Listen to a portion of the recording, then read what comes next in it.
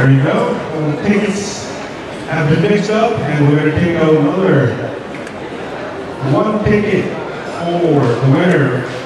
The winning ticket for Harley Davidson, draw number seven for the motorbike, courtesy of Qatar Duty Free. And once again, I will request Mr. Keith Hunter to announce the winning ticket number and the name of the winner, please.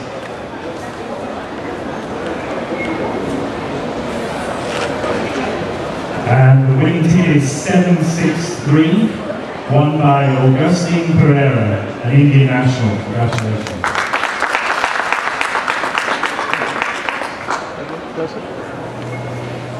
Two very happy individuals ladies and gentlemen, and you could be the next winner. We got two beautiful Harley in over. Congratulations. Don't forget your tickets, ladies and gentlemen, at any of the Qatar Free outlets or online at www.